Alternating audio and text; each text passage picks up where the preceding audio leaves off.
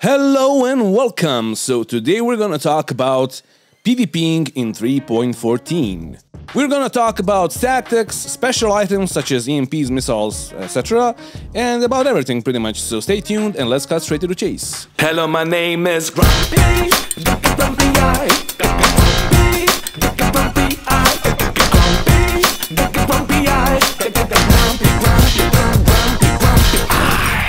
Alright, so first I should make a disclaimer here. A lot of stuff that I'm gonna say here I've already said in a bunch of my videos, so if you do not understand why I've said all of those things, and if you are not a subscriber, yeah, please subscribe, but yeah, uh, check out my older videos and you'll understand why I'm saying those things. Anyway, let's cut straight to the chase and talk about PvPing. So first off, we should talk about tactics. Okay, so main thing is of course gonna be the positioning of your ship.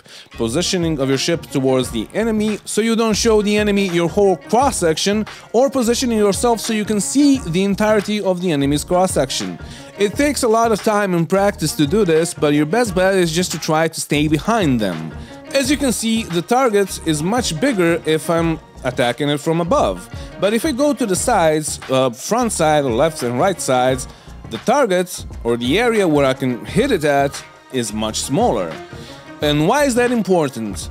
Well, you will get into a situation where you cannot fire back at the enemy and at that point, your best bet or your best chance of survival is not to give the enemy your whole cross section. So try to position yourself and turn the ship or roll the ship around so he can't hit your top or bottom section of your ship because it, it is the biggest cross section. The next thing is when you're attacking or when you're planning your first attack or even if you're trying to run away, try to attack from the sun's position or if you're running away, try to run away straight into the sun because as you can see from the video, you can pretty much hide inside the sunlight. The next thing is pretty much important as the first thing and is gonna be the environment you fight in. You need to choose your environment wisely. First off, check out if there are any asteroids next to you, uh, so you don't hit them, and if so, try to pull out the asteroid field so you can concentrate on PvPing.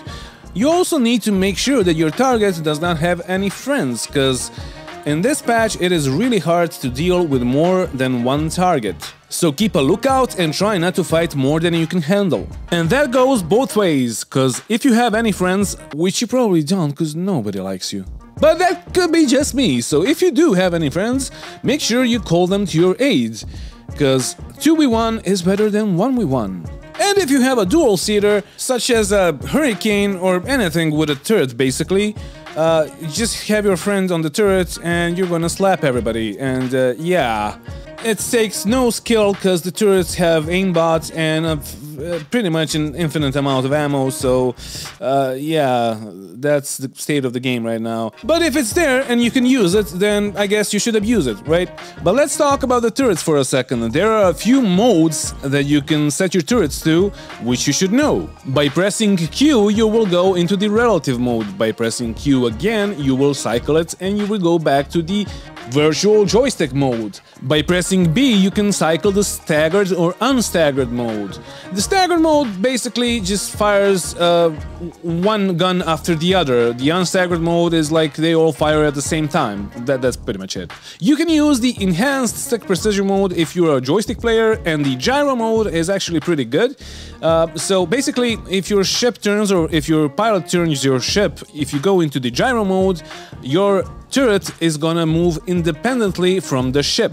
Now let's talk about tactics a bit more. The main thing you need to know when you're engaging another player, so if you're PvPing, is that you need to know your advantages or your ship's advantages. So basically, if you're fighting against a bigger ship, so if you're in a light fighter or uh, in a medium fighter, or you're fighting against a heavy fighter or a subcapital ship, your advantage is gonna be your maneuverability. because you're not gonna have the shield strength, the hull strength, or anything that the other ship has. But if, for example, you're in a heavy fighter and you're fighting a smaller fighter, the main advantage you will have over the small fighter is, of course, your shield and uh, hull HP, and of course your main armament because your guns are gonna be bigger and they're gonna deal more damage than the guns on the smaller ships. Now, with all that said, let's talk about the flight mechanics. Yeah, I know you wanna talk about components, but uh, trust me, this is more important. First thing that you need to know is that all the ships have a maximum amount of thrust that they are able to produce. So for example, if you're flying in the coupled mode, every time you stop applying thrust to a certain direction, your ship is gonna try to slow down and come to a standstill, which of course requires some thrust. So if you're trying to maneuver while your ship is trying to stop, your maneuvering thrusters are not gonna be able to produce as much thrust as you need to turn around. So if you're turning while you're stopping, at least try not to press any other keys while you're turning so you can turn faster. Or you can switch to decoupled mode, which will help you a lot, because in decoupled mode, your ship is not trying to stop every time you stop pressing keys on your keyboard.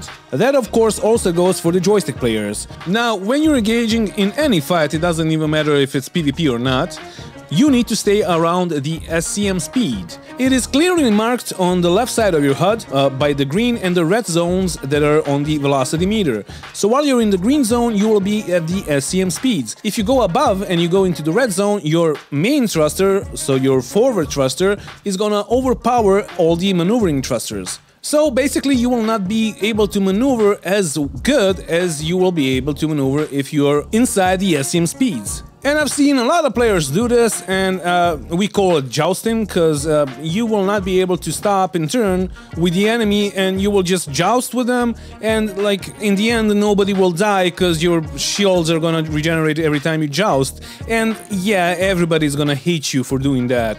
But the only time that you should actually joust, and when I advise you to joust, is when you're fighting more than one guy or you're certain that one salvo from your guns is gonna end the other player's life. So that would be called booming and zooming or boom and zoom. And that's a legit tactic, but like use it only if you are certain that you can kill the enemy in one pass. Now, as I have already said, you need to know the advantages of your ship over the other player's ship.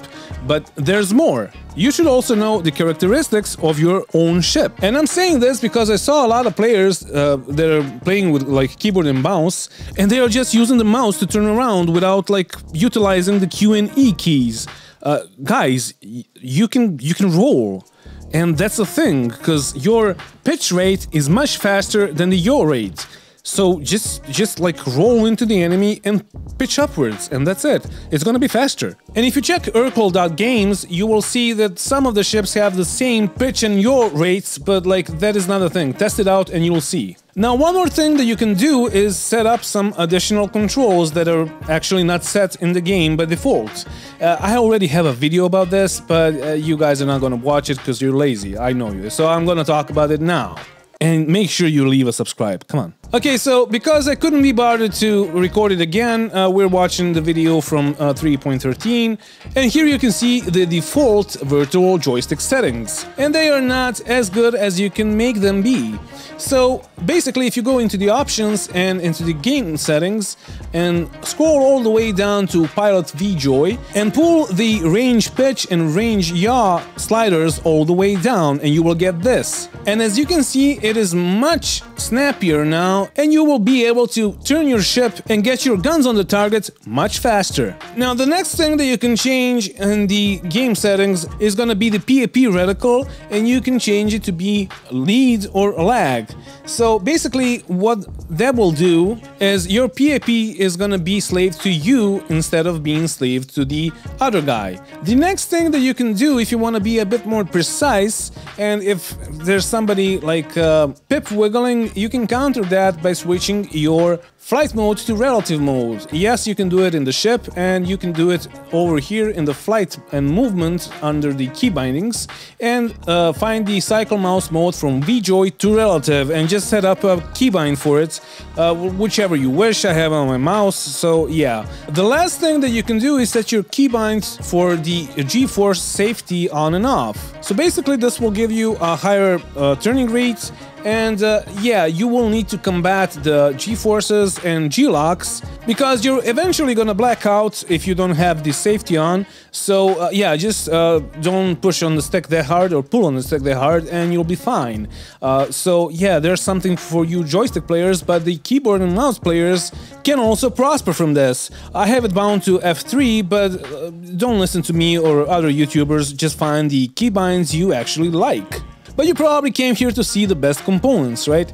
But I gotta be honest with you, uh, there are no best components anymore.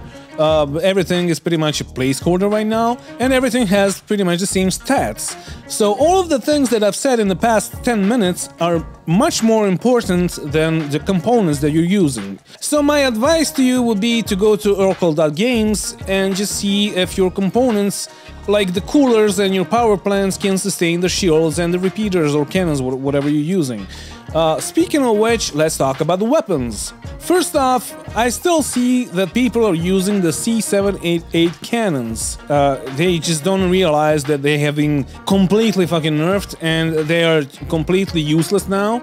They deal less damage than uh, uh, size 1 repeaters, so don't use those cannons please. But when we're talking about the loadouts, the basic theme of this patch is like more is more. More weapons is, is gonna deal more damage. So if you have a Hornet, forget about the size 4 on top, just get two size 2s on top uh, and two size 1s instead of a size 3 on the nose and uh, you're gonna be golden because uh, that's gonna deal more damage. You're gonna have a higher DPS than just having a size 4 and a size 3 on the nose. But let's talk about the cannons versus repeaters. I already talked about all this in my previous videos, but like the basics are, or the gist of it is that you should only use the cannons if you're going against bigger targets. So if you're going against something that is not a fighter, so Andromedas, freelancers, or sub-capital sized ships.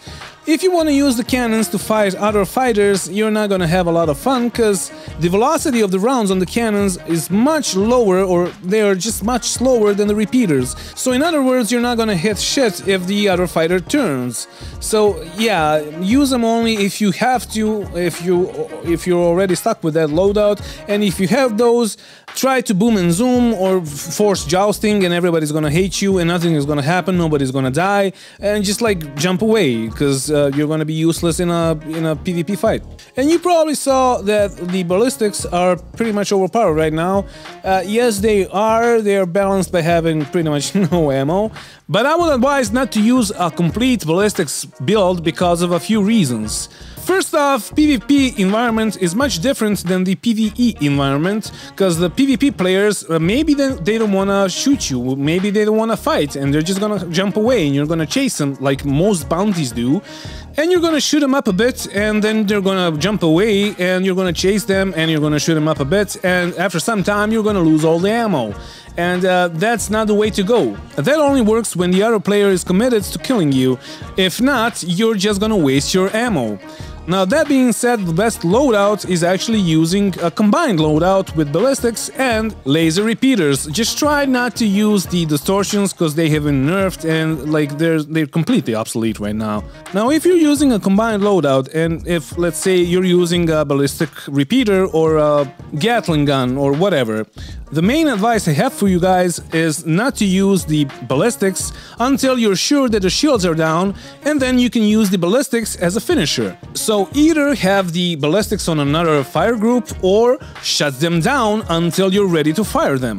And you're probably thinking, well, like, Grumpy, why should I do that? I'm just gonna lose my firepower if I have my weapons shut down. Well, yes and no. You will lose some DPS because you will have less guns. So, for example, if you're using two size 1 Gatlings on your Hornets and you have four more laser repeaters, those laser repeaters are gonna have the same maximum damage potential or the same damage output as you had with six laser repeaters. You will have less DPS, yes, but you're gonna have more rounds in the energy weapons, so that's gonna be give or take the same thing. Of course, if you can manage to stay on target for that long. Now, you're probably saying to yourself, well, yeah, that's great, but like, I'm surely not gonna hop into the MFDs while I'm in a dogfight and just like uh, try to enable my guns. Uh, yes, of course not. You can just press P twice and uh, that's gonna enable your weapons, because P, when you press it once, it disables the weapons. When you press it again, it's gonna enable all the weapons. And that will be the fastest way to do it. Now let's talk about the special items. So let's talk about the missiles first. I have already done a video about all the missile sizes, so yeah, make sure you check it out. Uh, basically, TLDR is that uh, size ones are the best ones. So yeah, just use them. The only other thing that you should know is that you can fire them at like a 90 degree angle. So if you don't have a track IR, you can just hold Z and move your mouse around and aim it at the target. It is pretty good to keep a constant pressure on the enemy. The next special item would be the EMPs. I really like them, they're really good in this patch and I think you should use them. Of course I already did a video about them, but yeah, the, the gist of it is uh, they are pretty good because like uh, size 4 EMPs on the Sentinel and the Warlock can completely disable the shields on the uh, enemy fighters if they are size 1s and they will be left with like 5% shields on their ship. Of course, if their shields are already down, you're just gonna turn their ship off.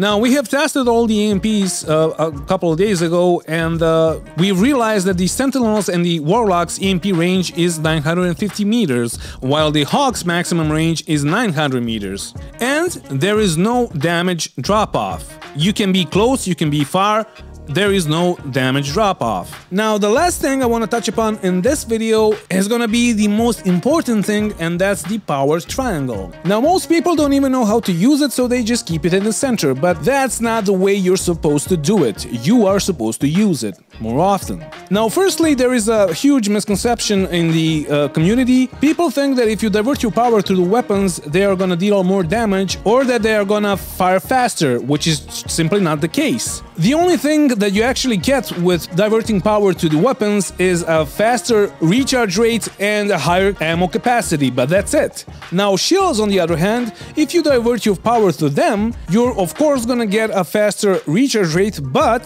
you will also harden them. Now why is that important? Well, I've seen a lot of players and YouTubers uh, keeping the power on the weapons while they're engaging, and they should be keeping the power diverted to the shields. Why is that? Because every time you engage somebody, the enemy is probably engaging you too. So when you're making a pass on the enemy and he's firing at you, you should be hardening your shields. And if we're talking about the power triangle, we should be talking also about the thrusters. And uh, the only advice here is to try to keep the boost at at least 25% at all times, uh, just so you can bail if you need to. And the last overall advice that I can give you is to practice. Uh, just practice, practice, and practice, because practice makes perfect, right? So just get a friend and jump outside the comm array area so you don't get a crime stat and just practice. Shoot each other until somebody dies, and that's it. And that is it for today, guys. Thank you for watching, thank you for subscribing, and don't forget to bring a towel when you're traveling through space. And uh, ta ta da da ta, if you wanna be a much, much better PvPer, baby, you should subscribe, subscribe, subscribe, subscribe, subscribe, subscribe. yeah, the ta ta ta ta. Thank you. Bye.